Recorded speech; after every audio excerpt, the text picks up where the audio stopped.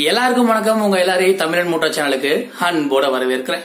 So இந்த video பதிவுல எதை பத்தி பார்க்க போறோம் அப்படின்னு பாத்தீங்கன்னா தம்பி ஒருத்தர் ஒருத்தர் இன்ஜின் எப்படி ஃபங்க்ஷன் ஆகுது அப்படிங்கக்கூடிய அடிப்படையை சொல்லி கொடுங்கண்ணா அப்படின்னு சொல்லிட்டு நிறைய வீடியோஸ்ல கமெண்ட் பண்ணிட்டாரு. சோ அதனால இந்த வீடியோ பதிவு முழுக்க முழுக்க அந்த தம்பிக்காக போடப்படுது. சோ ஒரு இன்ஜின் ஃபோர் ஸ்ட்ரோக்ல ஒர்க் ஆகக்கூடிய ஒரு இன்ஜின் எப்படி வேலை செய்யுது அப்படிங்கறத தான் இந்த வீடியோ நம்ம பார்க்க போறோம். ஸோ காமனாக வந்து இப்போ டூ வீலரில் யூஸ் பண்ணக்கூடிய ஒரு ஃபோர் ஸ்ட்ரோக் பெட்ரோல் இன்ஜினை பற்றி தான் நம்ம பார்க்க போகிறோம் ஸோ முதல்ல அடிப்படையாக சில முக்கியமான காம்பனண்ட்ஸ் பற்றி நம்ம தெரிஞ்சுக்கணும்.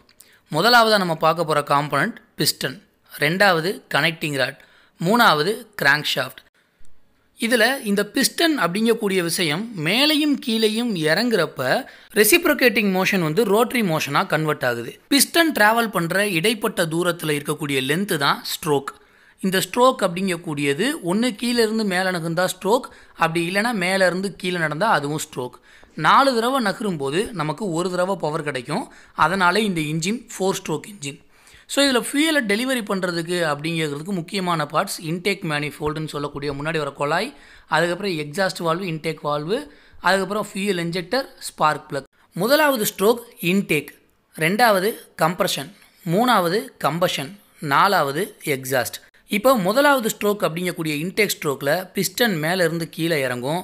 இன்லெட் வால்வ் வந்து ஓப்பன் ஆகும். இப்படி ஓப்பன் ஆகக்கூடிய சமயங்களில் ஏரும் ஃபியூல் இன்ஜெக்டர் மூலமாக தெளிக்கக்கூடிய அந்த ஃபியூயலும் சேர்ந்து மிக்ஸ் ஆகி சிலிண்டருக்குள்ளே என்ட்ராயிடும் செகண்ட் ஸ்ட்ரோக்கில் என்ட்ரான ஃபியூயலை மேலே வரைக்கும் பிஸ்டன் அழுத்திட்டு போகும். இந்த சமயம் ரெண்டு வால்வுமே க்ளோஸ் ஆகிருக்கும் இந்த ஸ்ட்ரோக்கு பேர் கம்ப்ரஷன் ஸ்ட்ரோக் மூணாவது ஸ்ட்ரோக்கில் ஸ்பார்க் பிளக் ஒரு தீப்பொறி கொடுக்கும். அதனால் ஆல்ரெடி அழுத்தத்தில் இருக்கக்கூடிய ஃபியூயல் வெடிச்சிரும். இதில் ஏற்படுற ஃபோர்ஸ்னால பிஸ்டன் கீழே இறங்கிரும். இந்த எனர்ஜி மூலமாக தான் நமக்கு பவர் கிடைக்குது. அண்ட் நாலாவது ஸ்ட்ரோக்கில் இந்த வெடித்ததுனால ஏற்பட்ட புகையை பூரா எக்ஸாஸ்ட் வால்வு ஓப்பன் ஆகும். அந்த வால்வு ஓப்பன் ஆகும்போது இந்த பிஸ்டன் கீழே இருந்து மேலே ஏறும். ஸோ உள்ளே இருக்கக்கூடிய புகை எல்லாமே வெளியில் போயிடும். இந்த நாலு ஸ்ட்ரோக் தொடர்ந்து சைக்கிளிங்காக நடக்கும். இன்டேக் அப்போ ஏர் அண்ட் ஃபியூல் மிக்சர் உள்ளே வரும். கம்ப்ரஷன் ஸ்ட்ரோக் அப்போ ப்ரெஸ் பண்ணி அழுத்தத்தை கொடுக்கும். தேர்ட் ஸ்ட்ரோக்கில் வெடித்து நமக்கு பவர் கிடைக்கும் ஃபோர்த் ஸ்ட்ரோக்கில் புகையெல்லாம் வெளியே போயிடும். ஸோ இந்த நாலு ஸ்ட்ரோக்குமே தொடர்ந்து நடந்துக்கிட்டே இருக்கும். இது ஒரு நிமிஷத்துக்கு எந்த அளவுக்கு கீழே இருக்கக்கூடிய கிராங்க் ஷாஃப்டை சுற்றுது அப்படிங்கிறது தான் நம்ம ஆர்பிஎம் அப்படின்னு பார்க்குறோம். தோராயமாக ஐயாயிரம் ஆர்பிஎம்மில் வண்டி ரன்னிங்கில் இருக்குது அப்படின்னு எடுத்துக்கிட்டோம்னா அதில் எண்பத்தி மூணு ரொட்டேஷன் ஒரு செகண்டுக்கு நடக்கும்.